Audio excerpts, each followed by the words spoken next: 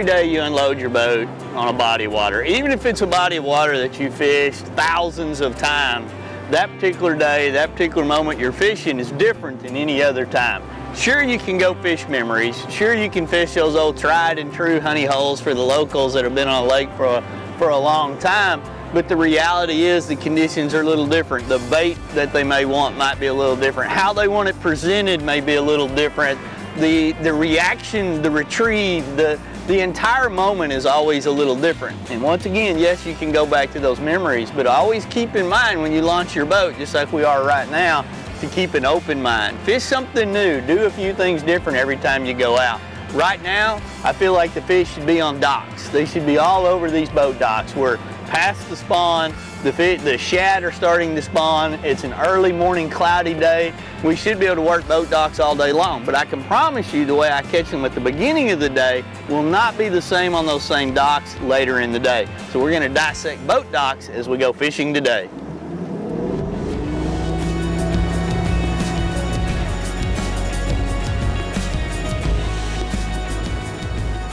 boat docks. Boy, I mean, they come in so many different configurations. I mean, you might find them sitting in a foot of water. You might find them suspended out over 150 foot of water. They may be giant marinas with hundreds of slips, and they could be just an individual dock in a cove by itself. But all of those boat docks have an attraction to fish. You know, the bait fish might be seeking cover, they might be finding forage there, and then when the bait fish are there, obviously the bigger fish come, and then bigger fish after that, which provide you with angling opportunities.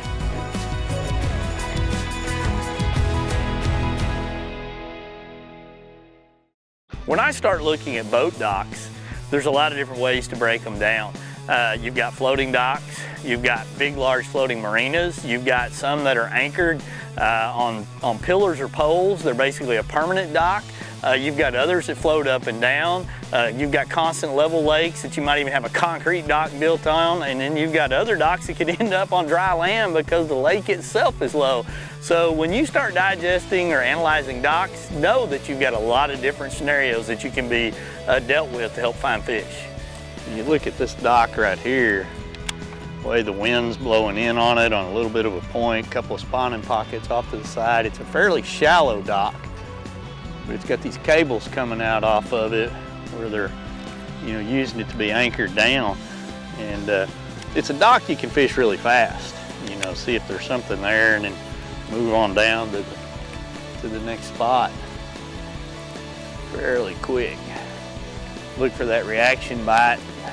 You can see that cable coming off right here, I want to hit out away from it a little bit, even fish it down. There's been times with crankbaits, even in the winter time, where I've caught lots of fish on cables and getting a reaction bite when that bait would hit that cable. Totally deflects your bait. So if you're watching those cables, a lot of times they can be where they're setting up and holding that. Oh, got him. Got him. Got him, got him, got him. Come up here, buddy. Man, he just torpedoed that thing. Fat fish.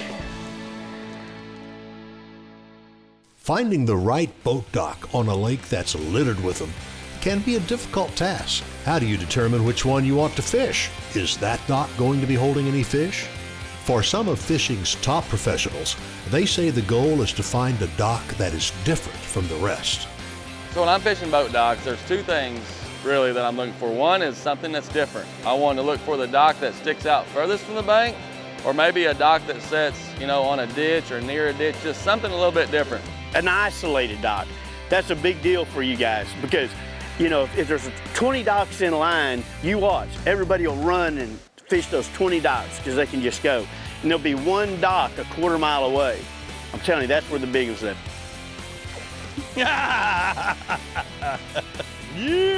If I have a choice to pull into a bank and fish 20 boat docks that are exactly the same, or fish one dock over here that's setting on a point or setting a little bit further out, every time I'm gonna pull over here and fish the one that's more isolated, something that's a little bit different. Doesn't take as much time to fish it, but I, am usually just looking for something a little bit different. Isolated, and the ones that stick out the furthest. That would be the tip I could give you on fishing docks. There he is. Better one there. A little better guy there. There's his dock. He come up behind it and thought he had him a meal. All right, buddy. Let's get the hooks out of there and let you go. Just fishing down a windy side of a dock. That can really pay off at the right times. Go back in there. Grow up. You know, you just got to decide how to fish it every day. And, you know, you can skip these docks with a swim jig or something like that and catch them probably pretty good on a good sunny day. Today we've got a, just a little bit of overcast and light rain and I just feel like I can take a jerk bait and probably fish a little faster, a little more aggressively, and pick up a few bites. But for whatever reason, I'm missing as many as I'm catching. Time now for our first break, but when we return, Wade begins to capitalize on those bites as he works a jerkbait around floating docks. And you can see by the size of their bellies, they're just gorging right there. I mean, they're just every cast throwing in there and getting a bite right now. Stay tuned to learn about fishing boat docks in and around marinas right here on the Fisherman's Handbook. As people who love the outdoors, we know what we stand for. We stand for fish, wildlife, and conserving the places they call home. We stand for the traditions we inherited and that we must pass on. We stand for great gear, fair prices, expert service, and memorable experiences.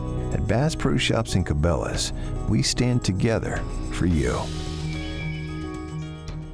For 50 years, Ranger has led the way in innovative, high performance designs, and we're raising the bar again with a bold new flagship line, the Ranger Z Comanche L Series. These rigs are custom crafted with a passion for perfection and loaded with more features and advantages to deliver domination at every level. The next generation Ranger L Series. Celebrate a legacy 50 years in the making. The Fisherman's Handbook is brought to you in part by Bass Pro Shops and Cabela's. Your adventure starts here. Garmin, fight your fish, not your fish finder. And by Yamaha Marine, reliability starts here. 12 months out of the year, fish live on boat docks. I really don't, it doesn't matter where you're at. I honestly believe a lot of fish live underneath marinas and docks year round until they spawn and they go right behind the dock, they spawn and right back. They have everything they need underneath the dock. This episode of the Bass Pro Shops Fisherman's Handbook is focusing on how to catch fish around docks. Docks offer an obvious target for anglers to pinpoint and catch fish on. The next topic we're going to cover are marinas. Marinas are loaded with docks and provide a variety of cover for fish to hang out in. You know, I look at, at big marinas uh, a lot of times. I love to fish those at certain times of the year.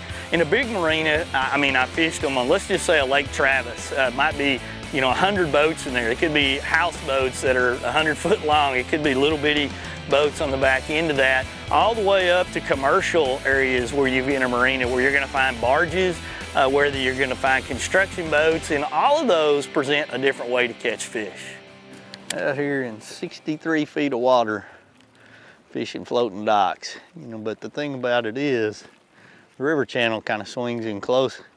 There's one right there to this bank. You've got a great bluff, wind blowing on it, lots of brush around it. You look down on the depth finder and there's fish all around it. So you never know whether it's gonna be a shallow dock or deep docks that are gonna pay off.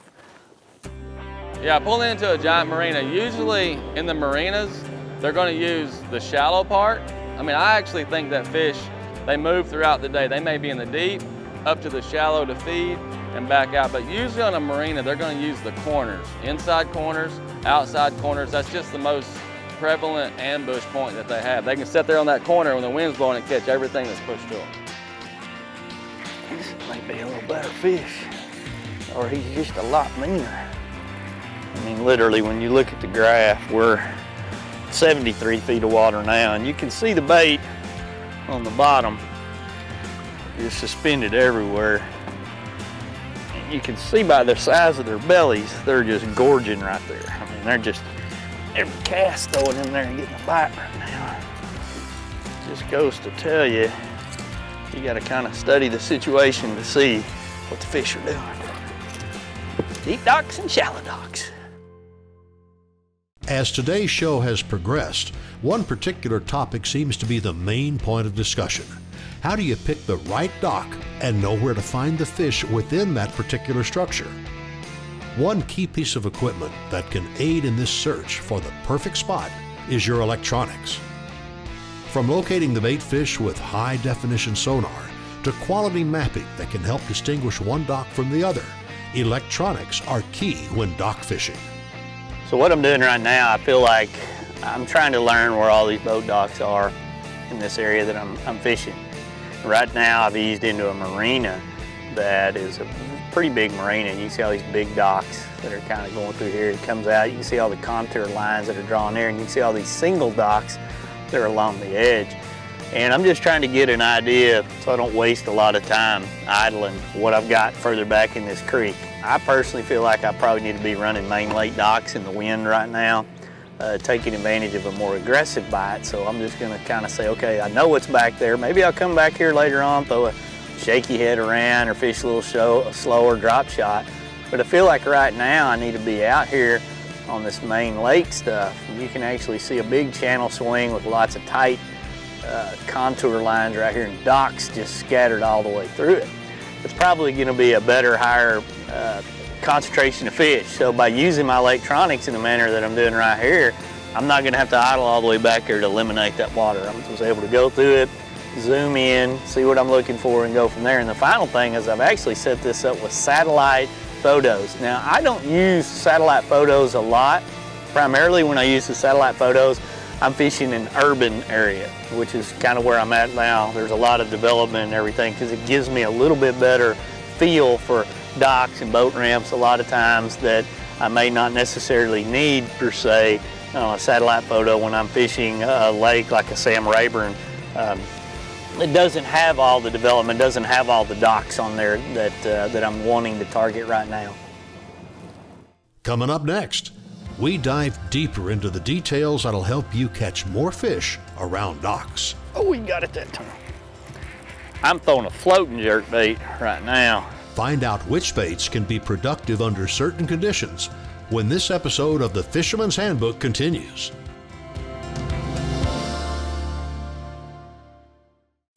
An entirely new species of extreme predator is moving offshore. The Yamaha 5.6 liter V8 XTO offshore outboard. Extreme big block thrust and power in the industry's first direct injection four stroke.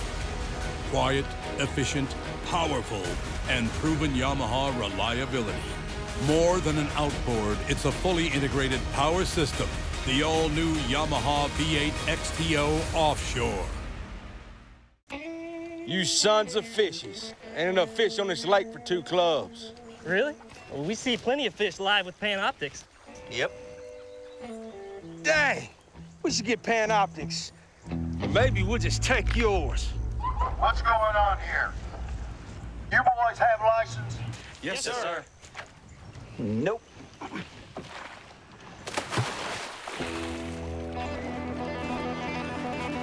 There he is. Oh, I got him.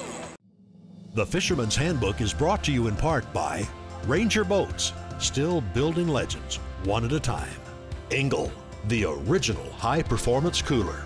Sunline America, the strength to guarantee your confidence. And by Bradley Smoker, food smoking made easy. Boat docks are great areas to find fish. The ecosystem around a boat dock can be comprised of a wide variety of creatures and other elements. Throughout the year, the pattern of these fish can change, meaning different baits will produce in different situations. You know, pretty much the baits that I use for dock fishing are jerk bait. You're gonna call them out in the spring, uh, a jig or a worm, and then a, a top water, you know, depending on the time of the year. I know a lot of guys that uh, are tournament anglers that when they can find a shad spawn going on around some floating boat docks or stationary boat docks, they're gonna run and gun very fast. And they're gonna look for a lot of shad, flickering, running the outside edges, and they're gonna fish fast moving reactionary bites to draw those uh, bass up and get them to ambush it. And in those situations, running a spinner bait, running a chatterbait, a swim jig, maybe even a jerk bait are gonna be a key way to get bites. Oh, he smoked it. Oh, he got it that time. I'm throwing a floating jerk bait right now out here. You know, they come in floating and suspending size, but once that water temperature gets up above certain degrees, for me, that's a, about 65, 64, after they've spawned, really. I really want to go with that floater. Shad are not the only bait fish that will congregate around docks. Brim and bluegill will also frequent these man-made structures. Panfish are able to feed on the smaller prey and items that can be found around docks. When targeting opportunistic bass that are feeding on brim, a jig can be a great bait to use to get bites. You know, one of my very favorite ways to fish on lakes that got stationary docks on them, either metal or wood, is with a jig. The reason I like it so much is those big fish will get around those docks. They'll get up under the docks. Sometimes they'll be on the shallow parts, sometimes they'll be on the deep parts.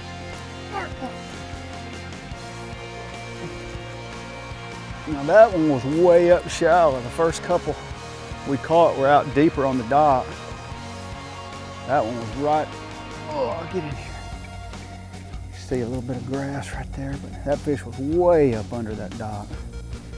And every fish is just a little bit different.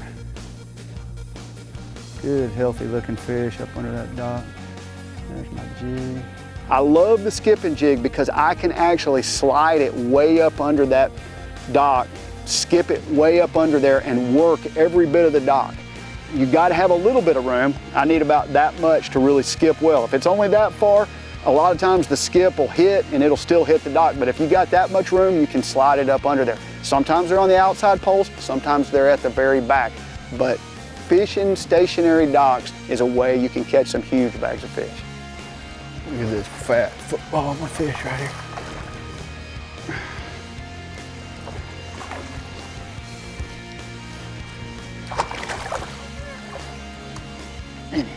Look at that fish. That is so pretty right there. Man. Now I was actually working that bait pretty slow. I had skipped way up under that dock. And that's one thing we found on these docks today, you gotta be way up under there. One thing you gotta realize is, is that, you know, it, next day they may be on the outside. You may be fishing something fast. But today it's gotta be flipping or skipping, pitching something up under the dock. Fish, beautiful fish.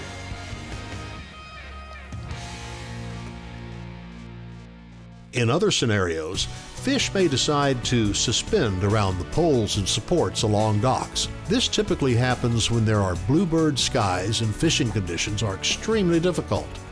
By pulling out a spinning rod and throwing a wacky worm, you can greatly increase your chances of catching a fish. Got him. He's on the end. It's a good Pretty one, good dude. one too. Nothing wrong with that. He was out there on the end. Yeah. Them fly fry garters.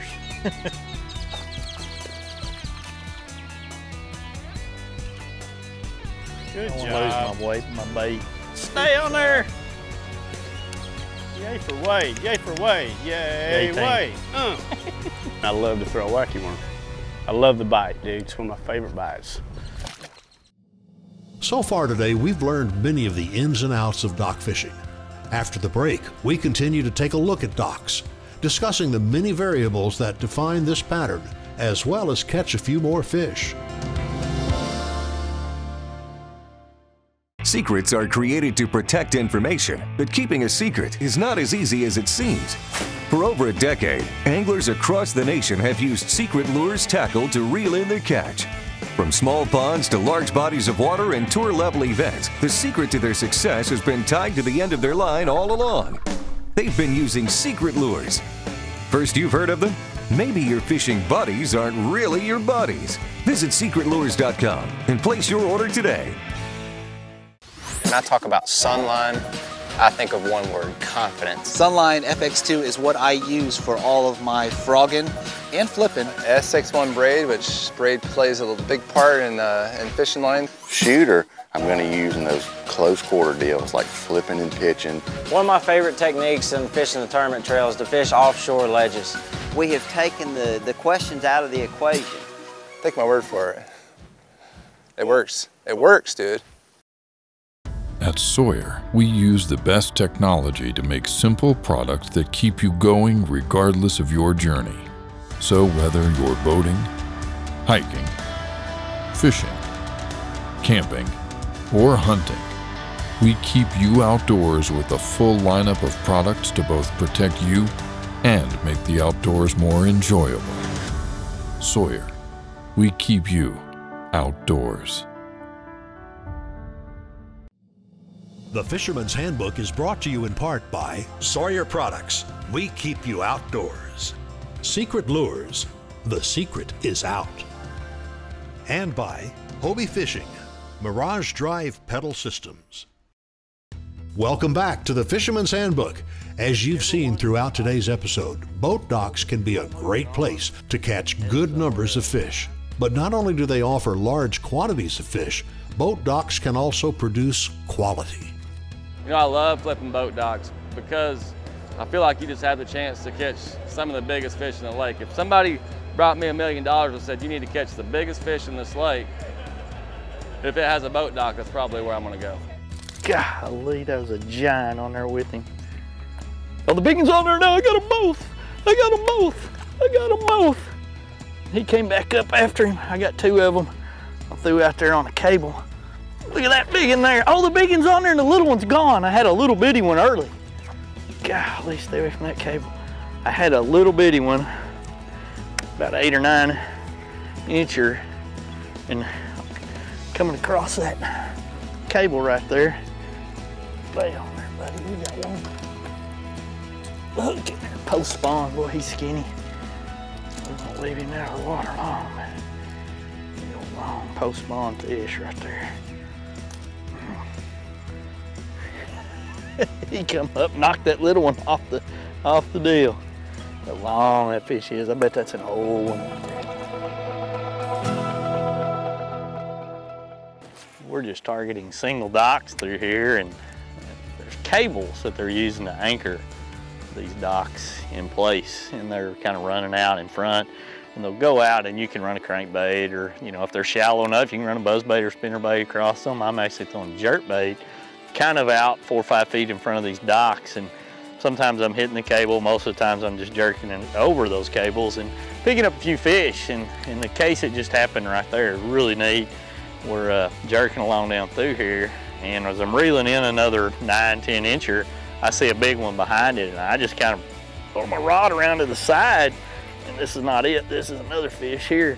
And I just throw my rod around to the side and a fish you know, that I had on that was about the size of this one I just caught here, the big fish knocked it off and I actually hooked the big fish with one hook in the top of the mouth and, and land the big fish. And you know, you're looking at a real old fish that we had right there. I mean, he was, you know, thin and big-eyed. I mean, in his prime, he was no telling how big, but well past his prime. But that was pretty fun to hook an old timer like that, the way it went down. That's the thing about dock fishing. There's always a lot of fish on the on those docks. It's just dissecting every piece of the dock to find success.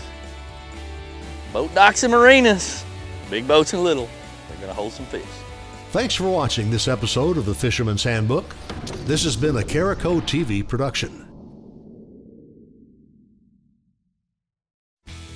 Tired of forgetting to set a recording or missing the latest episode of your favorite outdoors show? Check out Outdoor Action today. Never miss a second of shows like Americana Outdoors, Cabela's Fisherman's Handbook, and Whitetail Diaries. All of this at the press of a button without a subscription fee required. Start watching your favorite shows when you want to watch them by going to OutdoorAction.com or through the Outdoor Action channel on any Roku device.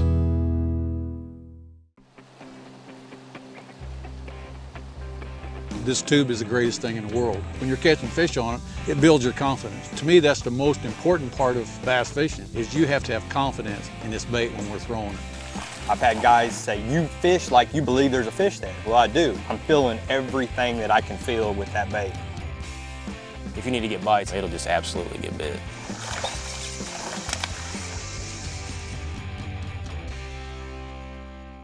Here at Big Bite Baits, we've got a big line of different plastics and, you know, they're all a tool, so you want to have them with you all the time. I made several checks in crowded areas flipping that right there. Just a six inch Big Bite Kriet Tail worm. Here at Big Bite, we came out with four brand new colors this year. All four of these colors are gonna be great fish catching baits. Definitely my number one go-to bait that Big Bite has out right now is the Big Bite Battle Bug. Big Bite is leading the way when it comes to innovation and colors. Many said that we were just obsessed when we started, that there had to be an easier way to smoke food. As time passed, the Bradley family created a lineup of Bradley electric smokers that has made it easier for the novice or even expert chef to get perfect results every time they use it. Grab yourself a Bradley smoker and take your cooking to an all new level.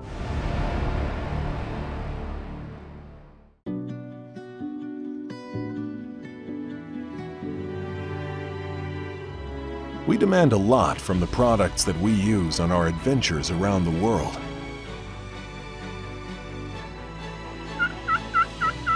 When it comes to keeping things seriously cold, we rely on Engel Coolers, who have for over 50 years kept things cold. Engel Coolers, the original high-performance cooler.